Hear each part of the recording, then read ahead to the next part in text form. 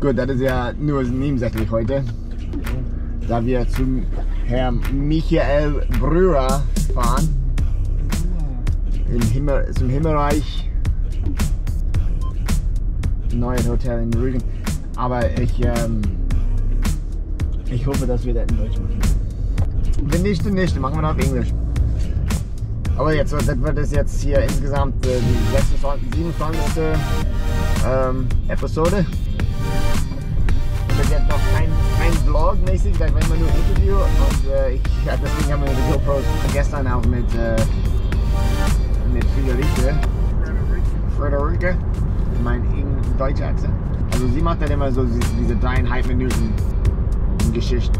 Aber man könnte das hier in unserer Gegend machen. Also heute ist ein Ausflug äh, Rügen, aber ich finde generell schön aus dem Studio rauszukommen und was Neues zu probieren und tatsächlich ähm, Spaß haben.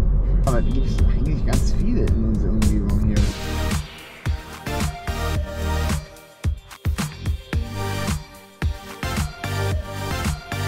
Der hat letztendlich den Artikel, da gab es so einen Artikel wie mit, äh, ich weiß nicht, ob der Nordkorea war oder sonst wie, aber der hat in Facebook gepostet, dass sie da hingezogen sind, weil seine Tochter letztendlich äh, auf